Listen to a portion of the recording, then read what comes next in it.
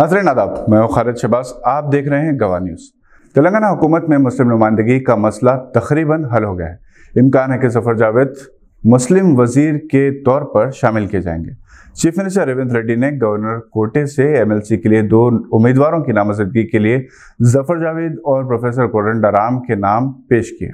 और गवर्नर को इन दोनों नामों से कोई एतराज़ इसलिए नहीं हो सकता कि इन दोनों का बैकग्राउंड तालीम से है। ज़फ़र जावेद एक माहिर तालीम की हैसियत से मुल्क व बैरून मुल्क में अपनी पहचान के हामिल है और प्रोफेसर कोडंडाराम भी टीचिंग कम्युनिटी में जाने पहचाने हैं। ज़फ़र जावेद को अगर वजारत में शामिल किया जाए तो ये 25 बरस पहले अपनी ज़मीर के आवाज़ पर तेलुगु देशम से अलगगी और इतने ही बरसों से कांग्रेस के लिए खिदमत अंजाम देने का सिला होगा। सुल्तान एजुकेशन सोसाइटी के सेक्रेटरी जनाब ज़फ़र जावेद हैदराबाद के इंतहाई मुआज़ इल्मी घराने से ताल्लुक़ रखते हैं। आपके वाले जनाब अमजद अली खान मरहूम आई एस अपने दौर में हैदराबादी शरफा और उमरा की तहजीब के नुमाइंदे समझे जाते थे। और ये एक इतफाक़ भी है और एजाज़ भी कि ज़फ़र जावेद के वालिद के तमाम भाई हैदराबाद और इंडियन सिविल सर्विसेज़ से वाबस्ता रहे। ज़फ़र जावेद ने अमेरिका से वापसी के बाद 1989 में सोशल वर्कर की हैसियत से कदम रखा और उन्नीस सौ नब्बे के फसादात में चार मीनार वेलफेयर सोसाइटी के परचम तले। इन्होंने बशरुद्दीन बाबू खान और गैसुद्दीन बाबू खान और अपने हम ख्याल इंसानियत नवाज़ साथियों के साथ मुतासरीन की गैर मामूली खदमात अंजाम दी। वो तेलुगु देशम से वाबस्ता हुए और सिर्फ़ छः माह के अरसे में एन टी रामा राव ने इन्हें आसिफ नगर हल्क असम्बली से मुकाबले के लिए पार्टी का टिकट दिया।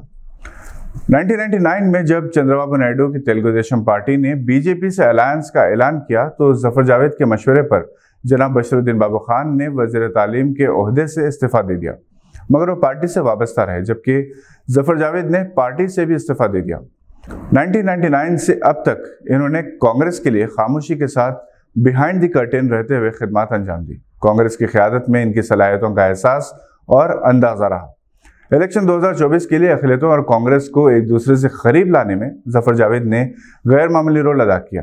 एक सियासतदान के साथ साथ वो अपनी कौम के लिए अपने सीने में नरम गोशा रखने वाले एक माहिर तालीम भी है। और federation of minority education institution के सरबरा की हैसियत से गरीब और मिडिल क्लास तलबा को प्रोफेशनल कोर्सेज में दाखिला दिलाने में इनकी काविशों को फरामोश नहीं किया जा सकता। इस्लामिक डेवलपमेंट बैंक जिद्दा के इंडियन चैप्टर के नेशनल कन्वीनर की हैसियत से भी इन्होंने अपने आप को मनवाया। ज़फ़र जावेद हैदराबाद के बावखार निज़ाम क्लब के सदर भी हैं। वो अपनी सादगी इनकसारी मुस्लिम मसाइल से वाकफियत, इनके हल करने के लिए हमत अमली और मनसूबाबंदी के लिए हर तबके में इज़्ज़त और एहतराम के साथ देखे जाते हैं। तेलंगाना के अवाम को बेचैनी से इस दिन का इंतज़ार है, जब वो एम एल सी मुंतखब होने के बाद रेवंत रेड्डी वजारत में शामिल किए जाएँगे। आज के लिए बस इतना ही। नई खबरों के साथ फिर होगी मुलाकात। अगर आप हमारे चैनल पर नए हैं तो सब्सक्राइब करते हुए बेल आइकन दबाना ना भूलें।